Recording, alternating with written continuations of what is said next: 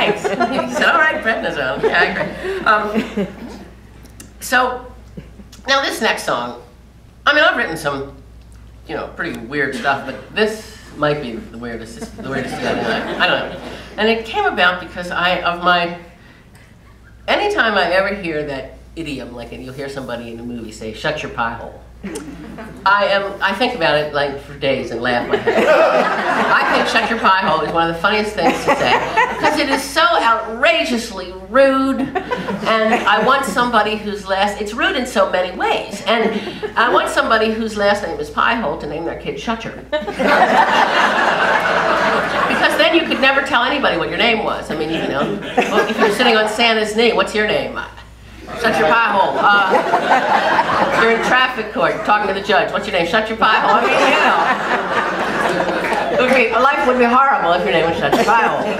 And so I, I texted a friend and said that I had written this new song called Shut Your Pie Hole because I was talking to Kenny and I was saying if I could just write a song called Shut Your Pie Hole and make it catchy, then the audience would want to request it. And so in the middle of the show, people would say, Shut your hole! well, Kenny and I are dying laughing, think of all the different ways that they could, you know, do that. So, uh, so, um,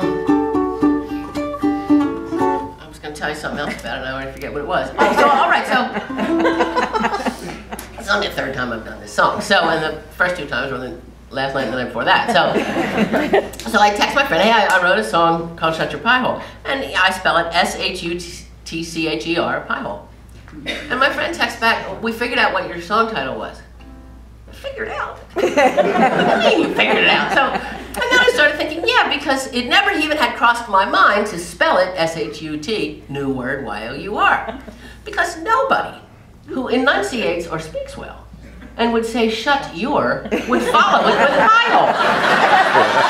That's never gonna happen. I mean, it's so deliverance to call somebody's mouth their pie hole. So, anyway, so my goal was to see if I could write a song called Shut Your Pie Hole.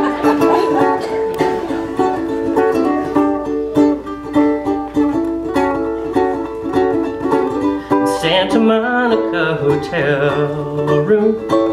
Sat around and read all day. I don't care much how this verse goes. I just want to get to say Shut your pie hole Shut your pie hole Shut your pie S-H-U-T-C-H-E-R P-I-E-H-O-L-E If I had a cat, I would name him that.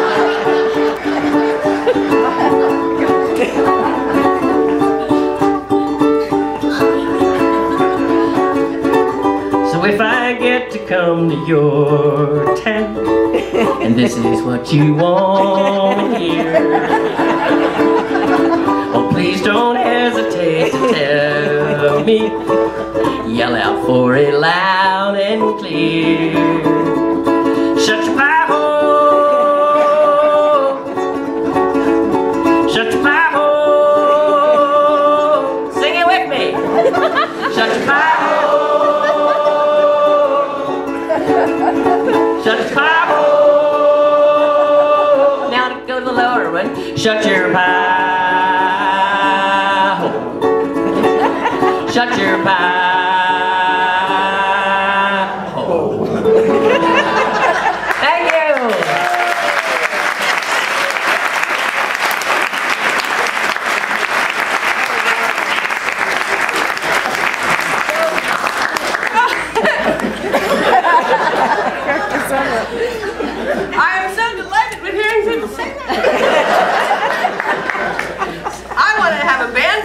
Called Shut Your Pie Hole.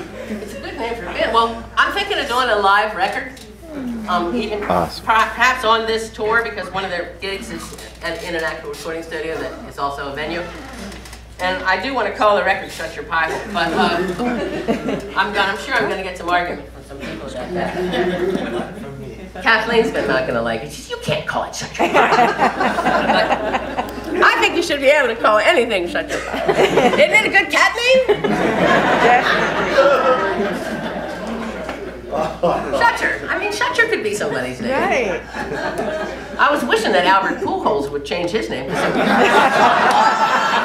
needs to anyway. So, uh, and then you know, He's baseball player. Well, this is a folk music concert. When you hear someone have to say Albert Pujols, a baseball player. That's how you know. That's how you know you're in a folk music. Oh, did he get a touchdown?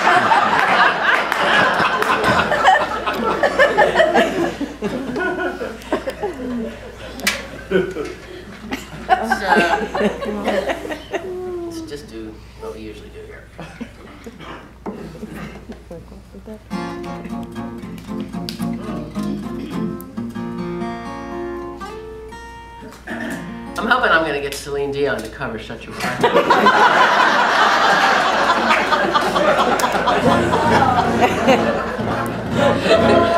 or maybe more like no, somebody like Mariah Carey who would do a lot of licks in it.